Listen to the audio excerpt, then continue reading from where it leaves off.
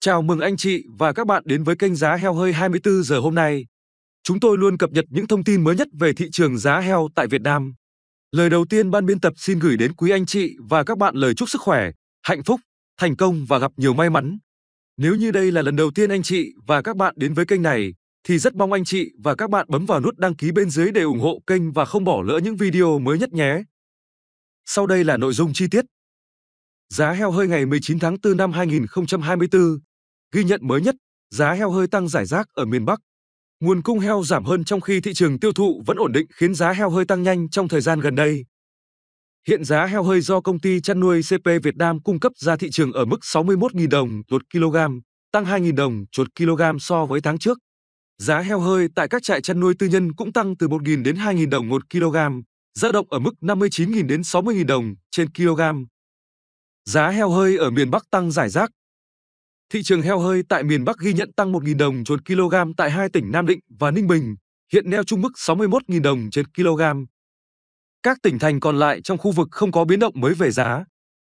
Giá heo hơi hôm nay tại miền Bắc trong khoảng 61.000 đến 62.000 đồng một kg. Khu vực miền Trung, Tây Nguyên, giá heo hơi ổn định. Theo ghi nhận, giá heo hơi ở khu vực miền Trung, Tây Nguyên đồng loạt vẫn giữ mức giá khá ổn định. Trong đó, heo hơi tại Thanh Hóa, Lâm Đồng và Bình Thuận đang được thu mua với giá cao nhất khu vực là 61.000 đồng một kg. Ngoại trừ Nghệ An và Đắk Lắk đang neo ở mốc 60.000 đồng một kg, các tỉnh còn lại duy trì thu mua heo hơi với giá 59.000 đồng một kg. Hiện tại, giá heo hơi ở khu vực miền Trung, Tây Nguyên trong khoảng 59.000 đến 61.000 đồng một kg. Thị trường heo hơi phía Nam ổn định mức giá khá cao lên đến 62.000 đồng một kg. Cụ thể, Thương lái ở Cần Thơ và Sóc Trăng đang cùng thu mua heo hơi với giá thấp nhất là 59.000 đồng một kg. Trong khi heo hơi tại Đồng Tháp đang được giao dịch với giá cao nhất là 62.000 đồng một kg. Các tỉnh thành còn lại có giá heo hơi ổn định trong khoảng 60.000 đến 61.000 đồng một kg. Giá heo hơi khu vực miền Nam hôm nay dao động trong khoảng 59.000 đến 62.000 đồng 1 kg. Nhìn chung, giá heo hơi hôm nay tăng giải rác. Hiện tại, Giá khảo sát ở các tỉnh thành dao động trong khoảng 59.000 đến 62.000 đồng một kg. Đây cũng là mức giá khá tốt và hầu hết bà con chăn nuôi đều có lãi. Theo các chủ trại chăn nuôi, từ sau Tết Nguyên đán 2024, giá heo hơi có xu hướng tăng hơn so với cùng kỳ năm ngoái. Nguyên nhân là do nguồn cung heo giảm hơn trong khi thị trường tiêu thụ vẫn ổn định. Hiện nay, các hộ chăn nuôi nhỏ lẻ giảm đàn hoặc treo chuồng nhiều do chăn nuôi heo không còn mang lại lợi nhuận tốt. Chăn nuôi heo, nhất là chăn nuôi nông hộ, hiện đối mặt với nhiều khó khăn, thách thức như rủi ro dịch bệnh cao, giá thức ăn chăn nuôi và các chi phí đầu vào khác hình thành mặt bằng giá mới cao hơn so với trước. Thị trường tiêu thụ dễ biến động vì ảnh hưởng khó khăn chung của nền kinh tế. Hiện giá heo hơi cả nước dao động trong khoảng 58.000 đến 62.000 đồng một kg, tăng khoảng 10.000 đến 11.000 đồng một kg so với cùng kỳ năm trước. Theo báo cáo của Bộ Nông nghiệp và Phát triển Nông thôn, chỉ số giá sản phẩm chăn nuôi heo quý 1 năm 2024 tăng 0,02% so với cùng kỳ năm trước. Riêng tháng 3 năm 2024 tăng 3,37%. Trong khi giá heo hơi duy trì đà tăng thì giá thức ăn chăn nuôi lại có xu hướng giảm. Theo số liệu từ Bộ Nông nghiệp và Phát triển Nông thôn, giá nguyên liệu và thức ăn chăn nuôi quý 1 năm 2024 giảm 12 đến 20% so với cùng kỳ năm ngoái. Điều đang lo ngại nhất trong đó là nhập khẩu thịt gia cầm, thịt lợn và thịt trâu có xu hướng tăng, trong khi nhập khẩu thịt bò giảm so với cùng kỳ năm 2023. Đáng chú ý, với mức giá khoảng 55.000 đồng một kg, thịt lợn nhập khẩu còn rẻ hơn cả giá thịt lợn hơi xuất chuồng nội địa, 58.000 đến 64.000 đồng một kg. Giá rẻ cùng số lượng thịt nhập khẩu ngày càng tăng dẫn đến tình trạng khó kiểm soát chất lượng. Trao đổi với chúng tôi, ông Nguyễn Văn Trọng, nguyên Phó Cục trưởng Cục chăn nuôi cho biết đà tăng của giá heo hơi được hỗ trợ bởi nguồn cung giảm trong khi nhu cầu trong nước tăng lên. Ông lớn trong ngành tăng giá bán là tín hiệu tích cực cho thị trường nên nhiều người chăn nuôi rất phấn khởi. Xu hướng tăng giá heo hơi hiện nay kéo giá heo giống tăng theo khi nhiều người chăn nuôi rủ nhau tái đàn. Cùng với đà tăng của giá heo hơi, giá heo giống trong ngày hôm nay cũng đồng loạt tăng. Cụ thể, giá heo giống tại miền Bắc tăng 10.000 đồng con lên mức 1,62 triệu đồng con, tại miền Trung tăng 20.000 đồng con lên mức 1,43 triệu đồng con, tại miền Đông và Tây Nam Bộ cùng tăng 40.000 đồng một kg, lần lượt lên mức 1,58 triệu đồng con và 1,38 triệu đồng con. Theo các chủ trại chăn nuôi, từ sau Tết Nguyên đán 2024, giá heo hơi có xu hướng tăng hơn so với cùng kỳ năm ngoái. Nguyên nhân là do nguồn cung heo giảm hơn trong khi thị trường tiêu thụ vẫn ổn định. Hiện nay, Các hộ chăn nuôi nhỏ lẻ giảm đàn hoặc treo chuồng nhiều do chăn nuôi heo không còn mang lại lợi nhuận tốt. Chăn nuôi heo, nhất là chăn nuôi nông hộ, hiện đối mặt với nhiều khó khăn, thách thức như rủi ro dịch bệnh cao, giá thức ăn chăn nuôi và các chi phí đầu vào khác hình thành mặt bằng giá mới cao hơn so với trước. Thị trường tiêu thụ dễ biến động vì ảnh hưởng khó khăn chung của nền kinh tế. Cục chăn nuôi nhận định, thời gian tới, do nguồn cung nguyên liệu ổn định và giá giảm nên giá thức ăn chăn nuôi thành phẩm trong nước sẽ tiếp tục theo xu hướng giảm.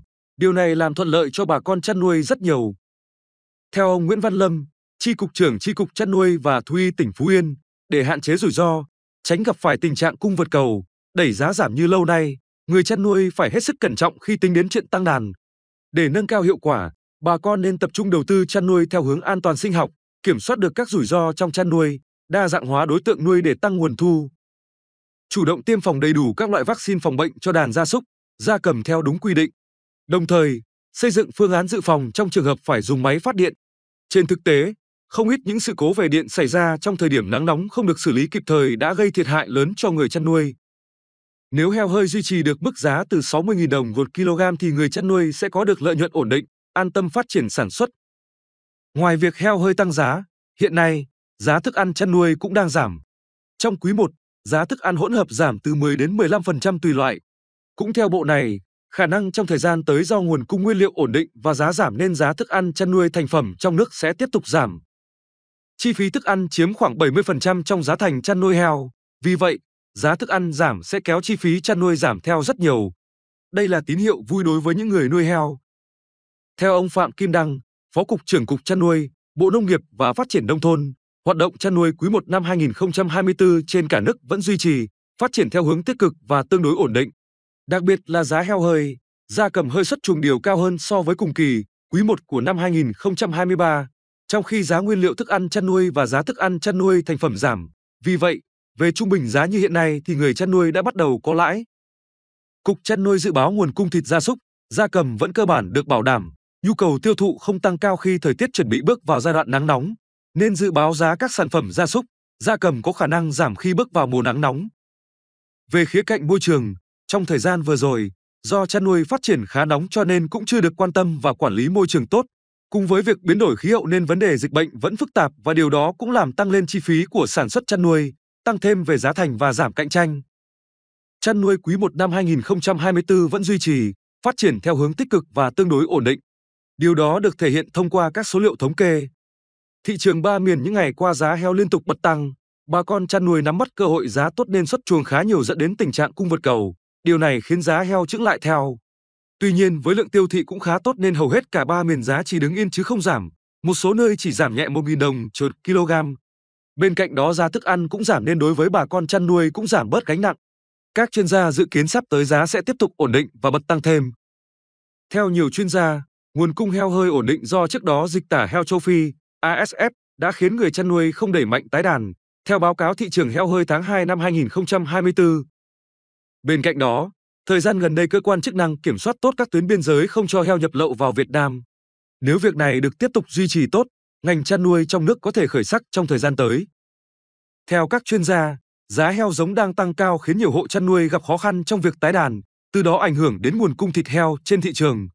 Song, trong thời gian tới, giá heo giống có thể giảm do nguồn cung heo giống dần được cải thiện. Tuy nhiên, giá heo giống vẫn sẽ ở mức cao hơn so với trước đây. Theo báo cáo của Cục Chăn nuôi, Bộ Nông nghiệp và Phát triển Nông thôn, giá heo hơi xuất chuồng từ đầu năm 2024 đã tăng nhanh trên cả nước so với thời điểm cuối năm 2023. Trong lúc giá heo hơi tăng, giá thức ăn chăn nuôi giảm đã giúp người chăn nuôi có được lợi nhuận, vì vậy, không ít người tính chuyện tăng đàn. Tuy nhiên, sức tiêu thụ trên thị trường hiện vẫn chưa tăng mạnh. Trong khi đó, theo số liệu thống kê từ Cục Chăn nuôi, Bộ Nông nghiệp và Phát triển Nông thôn, hiện nay, tổng đàn heo của cả nước có khoảng 24 triệu con, riêng quý 1 năm 2024 tăng 3,3% so với cùng kỳ năm ngoái. Điều này cho thấy đàn heo không hề giảm mà còn tăng, nguồn cung sẽ không bị thiếu hụt. Sự thiếu hụt nguồn cung trong một vài thời điểm hiện nay phần lớn là do trước Tết khi dịch tả heo châu Phi bùng phát, nhiều trang trại, hộ chăn nuôi bán non để tránh dịch dù heo chưa đủ trọng lượng xuất chuồng, cộng với sức tiêu thụ của thị trường tăng mạnh trong dịp Tết vừa qua. Thời gian tới, khi lứa heo gối vụ đạt trọng lượng xuất chuồng, nguồn cung tăng trong khi nhu cầu vẫn còn thấp nên khả năng heo hơi sẽ không giữ được mức giá cao. Theo nhiều chuyên gia, Thời gian qua nguồn cung heo hơi ổn định do trước đó dịch tả heo châu Phi đã khiến người dân không đẩy mạnh tái đàn. Bên cạnh đó, thời gian gần đây cơ quan chức năng kiểm soát tốt các tuyến biên giới không cho heo nhập lậu vào Việt Nam. Mức giá heo hơi như hiện nay đã cao hơn giá thành chăn nuôi, Cục xuất nhập khẩu nhận định. Theo nhiều chuyên gia, nguồn cung heo hơi ổn định do trước đó dịch tả heo châu Phi đã khiến người dân không đẩy mạnh tái đàn. Bên cạnh đó, thời gian gần đây cơ quan chức năng kiểm soát tốt các tuyến biên giới không cho heo nhập lậu vào Việt Nam. Nếu việc này được tiếp tục duy trì tốt, ngành chăn nuôi trong nước có thể khởi sắc trong thời gian tới. Để chủ động ứng phó với dịch bệnh đang diễn biến phức tạp và thực hiện các văn bản chỉ đạo của cấp trên, qua công tác tuyên truyền về tác hại của các bệnh truyền nhiễm nguy hiểm, trong thời gian qua ý thức của các hộ chăn nuôi, cơ sở giết mổ, nuôi nhốt động vật được nâng lên rõ rệt, phối hợp tốt với ngành chức năng trong công tác vệ sinh tiêu độc môi trường trong chăn nuôi. Ông Dương Tất Thắng, Cục trưởng Cục Chăn nuôi, cho biết từ đầu năm 2024 đến nay, giá heo hơi xuất chuồng tăng nhanh trên cả ba miền. Tính bình quân tháng 1, giá đạt 53.000 đồng một kg, sang tháng 2 tăng thêm khoảng 4.000 đến 6.000 đồng một kg và tiếp tục tăng trong tháng 4. Giá heo hơi tăng mạnh trong thời gian gần đây do các cơ quan chức năng tăng cường kiểm soát heo, bò, gà nhập lậu qua biên giới. Bên cạnh đó, nguồn cung nội địa giảm cục bộ vì cuối năm ngoái giá heo quá thấp cũng như dịch bệnh khiến nhiều người chăn nuôi xuất chuồng sớm. Ngành chăn nuôi Việt Nam cũng đang gặp nhiều khó khăn với nhiều lý do. Đặc biệt nguồn cung chăn nuôi ở trong nước tăng lên nhưng sức mua lại giảm và cũng không xuất khẩu được. Trong khi đó lượng sản phẩm chăn nuôi nhập khẩu 2 đến 3 năm trở lại đây tăng mạnh. Cụ thể chiếm trên 10% lượng thịt heo sản xuất trong nước với thịt heo nhập khẩu gần 300.000 tấn móc hàm năm, chưa kể số lượng heo nhập khẩu tiểu ngạch không thống kê được. Tình hình chăn nuôi lợn trên cả nước có nhiều khởi sắc hơn so với các tháng trước. Bộ Nông nghiệp và Phát triển Nông thôn vừa có báo cáo Thủ tướng, Phó Thủ tướng về bất cập trong công bố hợp quy thuốc thú y. Theo đó, Bộ kiến nghị Thủ tướng, Phó Thủ tướng cho phép Bộ sửa đổi, bổ sung thông tư số 13 trên 2016 của Bộ quy định về quản lý thuốc thú y theo trình tự, thủ tục rút gọn. Bộ cũng cho rằng, việc này vừa bảo đảm thực hiện công bố hợp quy thuốc thú y theo quy định, không phải lấy mẫu giám sát đánh giá chất lượng sản phẩm hàng năm, vừa không phải đánh giá quá trình sản xuất, góp phần giảm chi phí sản xuất, kinh doanh. Cục trưởng Cục Thú y Nguyễn Văn Long cho biết, Bộ Nông nghiệp và Phát triển Nông thôn đang quyết liệt triển khai các chương trình, kế hoạch quốc gia phòng, chống dịch bệnh nguy hiểm trên gia súc, gia cầm và giám sát chủ động sự lưu hành, biến đổi của virus cúm gia cầm tại chợ buôn bán gia cầm sống, gia cầm nhập lậu, giám sát bệnh dạy, giám sát virus dịch tả heo châu Phi, dịch lở mồm long móng, Diễn biến giảm giá hiện nay phù hợp với các dự đoán trước đó của một số chuyên gia trong lĩnh vực chăn nuôi. Cụ thể, giá heo hơi xuất chuồng của Việt Nam đang cao hơn so với các nước trong khu vực tạo ra áp lực thẩm lậu qua biên giới, trong khi đó nhu cầu tiêu thụ nội địa vẫn chưa hồi phục. Về phía người chăn nuôi, mức giá đang ở mức chấp nhận được để bù đắp lại giai đoạn thua lỗ trước đây. Trong năm 2024, nhận định giá có thể tăng cao so với năm 2023 đạt khoảng 58.000 đến 62.000 đồng một kg do nguồn cung suy giảm và cầu tăng trở lại. Vừa rồi là bản cập nhật thông tin chi tiết giá heo hơi ngày 19 tháng 4 năm 2024 được đăng tải trên kênh Giá heo 24 giờ. Cảm ơn các bạn đã xem video và đừng quên đăng ký kênh để cập nhật những video mới nhất của chúng tôi. Xin chào và hẹn gặp lại những video tiếp theo.